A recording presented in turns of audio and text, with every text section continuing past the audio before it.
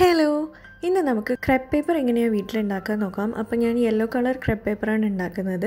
അതിന് വേണ്ടിയിട്ട് ഫുഡ് കളറാണ് എടുത്തിരിക്കുന്നത്. ഫുഡ് കളർ ഇല്ലയെന്നുണ്ടെങ്കിൽ നിങ്ങൾക്ക് മഞ്ഞൾ പൊടി എടുത്താലും മതി.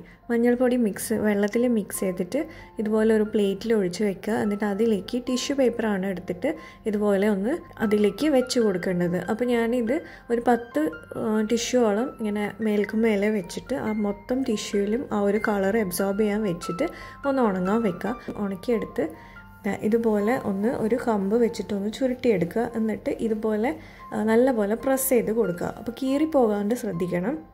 പ്രസ് ചെയ്ത് നമ്മൾ എടുക്കുമ്പം ഇതുപോലത്തെ ക്രെപ്പ് പേപ്പേഴ്സ് നമുക്ക് റെഡിയായി കിട്ടും. ഇത് വെച്ച് ഫ്ലവർ ഒക്കെ ഉണ്ടാക്കാം. അപ്പോൾ നമുക്ക് നെക്സ്റ്റ് വീഡിയോയിൽ കാണാം. അതുവരെ ബൈ